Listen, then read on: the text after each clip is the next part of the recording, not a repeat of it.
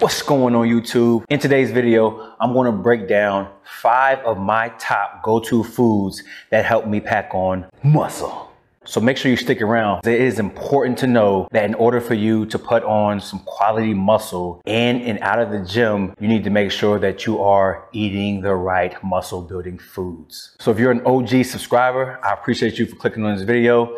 If you're not part of the team, go ahead and click that red subscribe button down below. Join the X Factor Fitness team and make sure you turn notifications on to all to make sure you are notified every time I upload a video. So that's by clicking the bell. And like this video while you're at it. But without further ado, let's get right into it.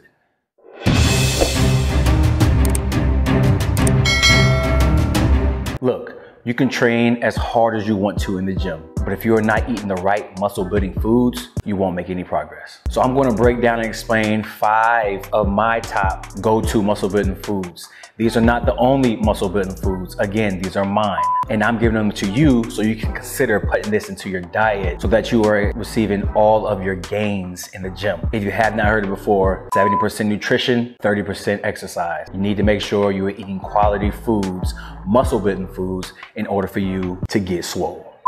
Up first, let's talk about oats. Oats is one of my go-tos for breakfast and or even a pre-workout snack or post-workout snack. Quick oats is calorie dense and is real low in sugar, which is important when we're trying to build a lean physique. You wanna make sure you minimize the sugar intake. Oats is also loaded with tons of quality fiber, which will help your digestive system work properly. What I like to do for my oats is sometimes add in a scoop of protein just to give it a more protein packed snack or even meal. And I like to add certain things like stevia, maybe some nuts like some almonds or cashews, maybe even some fruits like some bananas. But the main takeaway for the quick oats is that high in fiber, good quality carb, low in sugar, which is extremely important when we're talking about minimizing the fat gain. This right here is gonna help you put on some quality muscle. So since we spoke about it earlier, almonds. The almonds I choose to always go with are either whole natural or dry roasted simply because they don't contain a lot of oil, or should I say added oil. A handful of almonds is gonna give you about, let's say 200 calories. Super good when we're talking about our healthy fats. We have to make sure that we are containing a great amount of healthy fats in our diet in order to continue to pack on muscle. This is a real great go-to snack but also like I spoke with my oats, I can simply put a nice handful of this healthy fat into my oats and make that meal so much more nutritious. They're small, they're good, and we need them for the muscle building. So if you don't wanna put these in your oats, you can also put them over your salads. So I eat at least two to three servings of almonds every single day. And that has helped me to put on muscle.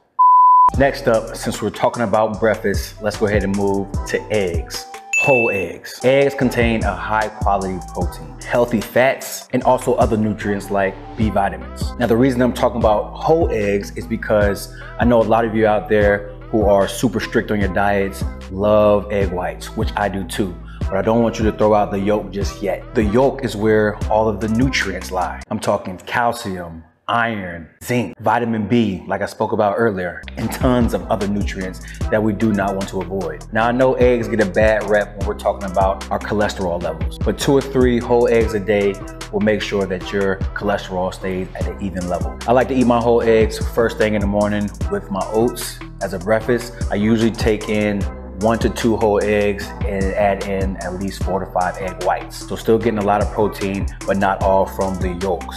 But the yolk is what's gonna help you when we're talking about really building some quality muscle. So do not neglect your yolk. All right, moving down the line, let's talk about quinoa.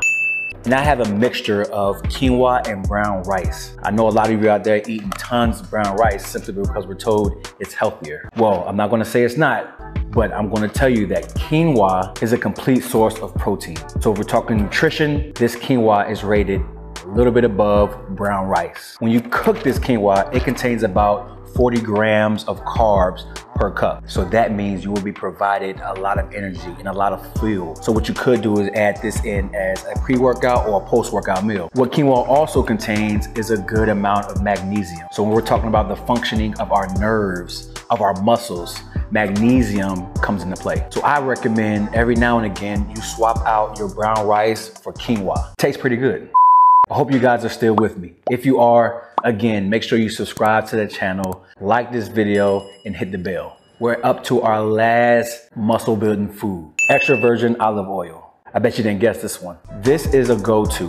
I use this every single day and most importantly with all of my meals. The fats in this olive oil stimulate protein production, which is what we need for our muscle growth. And it also helps prevent the tissue breakdown. And if you don't know anything about insulin sensitivity in your muscles, this olive oil increases that, helping your muscles soak up the amino acids, the glucose, the nutrients. If you have not started using virgin olive oil, you need to jump on it. Ditch your vegetable oil, ditch your canola oil. You need to be using olive oil. You can use this on the pan when you're about to cook. You can also drizzle this on your salads for a salad dressing. Again, this is my go-to. And this was a secret for you all because I'm pretty sure you didn't think this was anything but a bunch of fat. But this actually plays a big role in you building some muscle.